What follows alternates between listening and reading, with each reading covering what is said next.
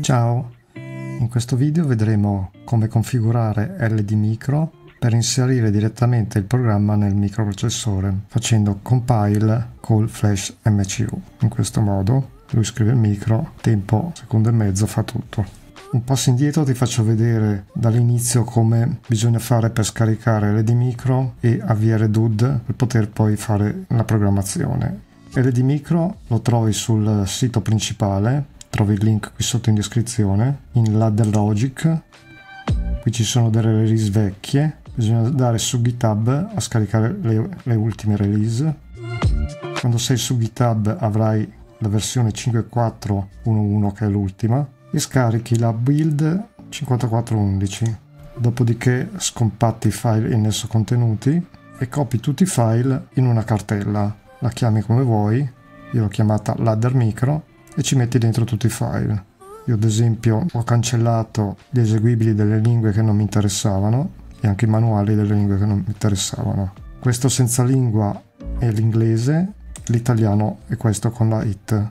Non devi installare nulla, basta che le copi dove vuoi, rinomini la cartella build 5411, il ladder micro giusto per ricordarti che questo è il programma e lanci l'eseguibile cliccando due volte o sul hit o su L di micro e ti si apre il programma in questo modo vuoto ovviamente la prima volta.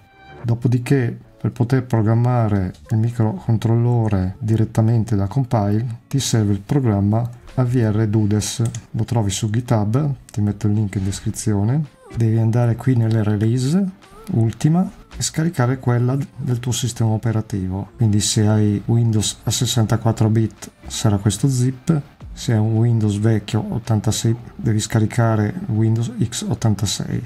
Con il computer 64 bit devi scaricare questo. Lo scompatti, ci sono dentro tre file e anche questi li copi in una cartella dove vuoi che poi LD Micro andrà a cercare per fare la programmazione. Questo qui lo puoi anche lanciare a riga di comando con dei comandi particolari. Per configurare LD Micro ad usare AVRDUD bisogna andare nella cartella che abbiamo visto prima dell'Adden Micro e andare a editare il file che si chiama flashmcu.bat che infatti è il file che chiama quando vai qui in compile col flash mcu.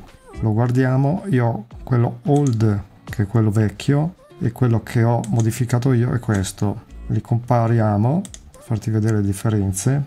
Poi ti metto anche il file da me modificato così in maniera che tu possa vedere dove ho fatto le modifiche. Prima di tutto gli ho cambiato la posizione perché di default lui vuole di program, programmation ladder program test eccetera eccetera. Qui devi mettere dove l'hai messo tu. C2 punti slash sarà magari programmi slash avviare dud L'altra cosa da modificare è il tipo di programmatore. A Redut Programmer, se usi USB ASP, devi scrivere USB ASP così. L'altra cosa che ho modificato è la velocità e ho tolto questi altri suffissi, quindi ho lasciato B 115.2. COM port, basta scrivere USB e non più COM5.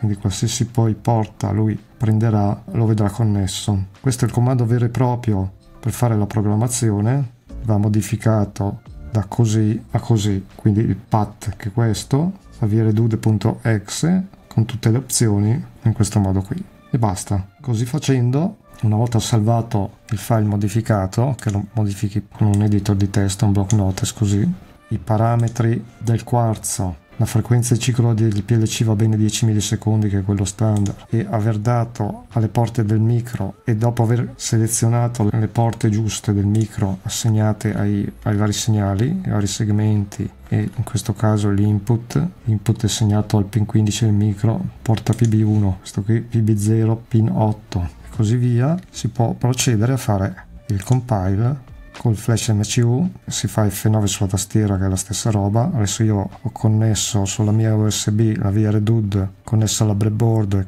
che hai visto nel video precedente. Faccio un F9 come vedi in un lampo lo programma. Hai anche delle informazioni utili tipo i byte usati nella flash. Se la verifica è andata a buon fine un bel done thank you. Premere un tasto per continuare. Velocissimo e praticissimo questo vale solo per i microcontrollori AVR, mentre invece per i microchip bisogna passare da un programmatore esterno, quindi salvare l'exe, compilarlo e salvarlo. Anche qui prima di fare il trasferimento bisogna fare il compile, una cosa che mi ero dimenticato di dirti che bisogna fare F5, salvarlo, dopo una volta che l'hai salvato non te lo chiede più, quindi compile F5, ti dà questo messaggio di errore, che non è un errore, è un compile successful, ti dice però di, di ricordarti di configurare i fuse, quello che hai visto nel video precedente, perché il programma non li ha automaticamente scritti. I fuse volendo si potrebbero inserire nel file bat, ma è inutile scrivere tutte le volte che si va a programmare il micro, i fuse si programmano una volta sola con Aviere Dudes, che è questo, Aviere Dudes, lo cerchi in Google, lo trovi subito, lo scarichi e anche lui lo stesso modo non va installato, basta copiare i file e funziona. Si seleziona il programma che hai, Latimega o altro microcontrollore e qui ad esempio adesso che è collegato se faccio un read ha letto i fuse read height, read low, read extended